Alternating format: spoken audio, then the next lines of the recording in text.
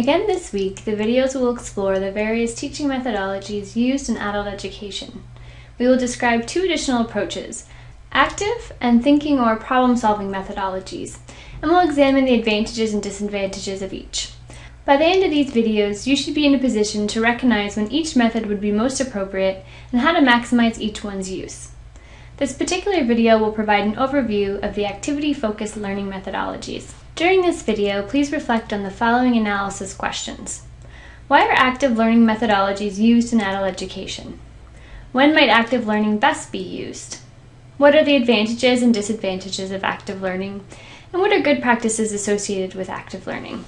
A wealth of research over the past several decades, both into pedagogy and neurology, has convinced most educators that active engagement in the learning process results in improved motivation and learning among students. Having students passively listening to information delivered through traditional lectures not only leads to wandering attention, but it fails to provide an opportunity to check for understanding. Integrating frequent activities helps students stay engaged in the learning, allows them to extend, apply, and judge their mastery of the content, and allows the teacher to check for comprehension before moving on to the next topic. Active learning activities can be used to break up more passive modes such as lecturing, or as the main learning mode, replacing lectures altogether. In recent years, educators have been experimenting with what is often called the flipped classroom approach, in which content is delivered via online means and is meant to be reviewed independently by students prior to class.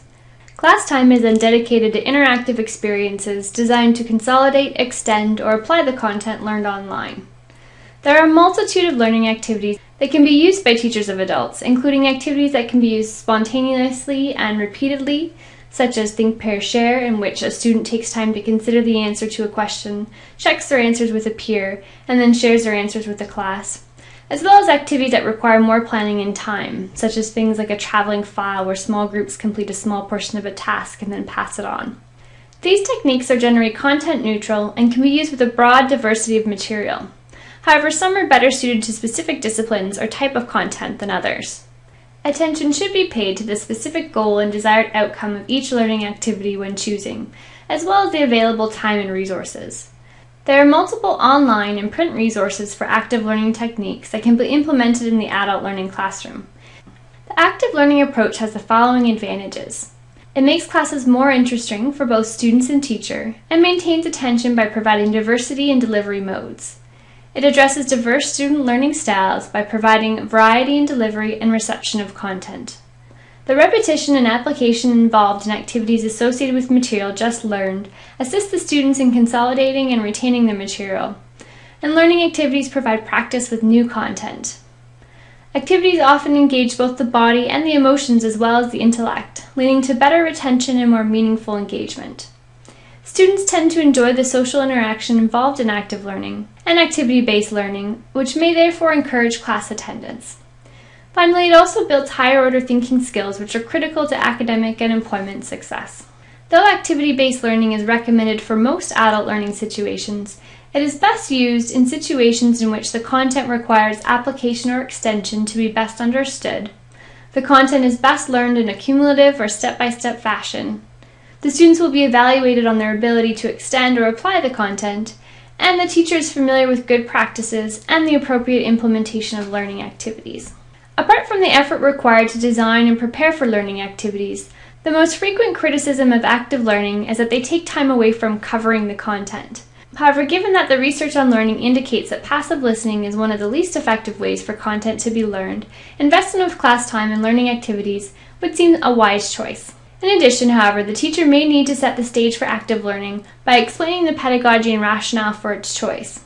During learning activities, it's important to monitor student engagement with the content and keep students on task by circulating throughout the room if possible. While active learning can take place even in large lecture halls, complex activities are best implemented with small to medium-sized groups in classroom with flexible seating arrangements. These conditions are not always available, which requires flexibility and imagination to compensate for their lack. Choose this approach when students will be required to apply or, or extend their learning. Investigate the wealth of learning activities available and select one suitable for the level and complexity of your content. Also become confident about the process for facilitating the activity and ensure you have all the needed resources on hand. When learning activities involve students teaching students, ensure resources or handouts are available to provide backup. Plan sufficient time for the implementation of learning activities. They don't all have to be lengthy, but students' engagement in them should not be rushed. Monitor engagement in the activity by circulating and redirect wandering conversations without taking over the activity. Develop strategies for ending the activity and regrouping as a class. Include time to debrief and check for understanding after learning activities. Where possible, include a step that allows you, the teacher, to check for accuracy and understanding after a learning activity. Build in self, peer, or classroom checks for accuracy so that students can judge their emerging mastery of the content. Feedback on practice should be as immediate as possible. Don't use learning activities frivolously. Have a concrete pedagogical purpose for each one and explain its use to students. While variety is engaging, you don't have to always introduce new types of activities constantly. Repeating suitable activities with different content allows students to concentrate on the content instead of the mechanics of the activity. Please reflect on the following synthesis questions. Which philosophy of adult learning is most consistent with the active learning approach? Would active learning be more likely to be used in formal, informal, or non-formal adult education?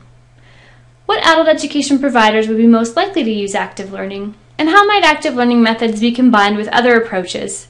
And in what ways could this combination address some of the disadvantages or limitations of active learning?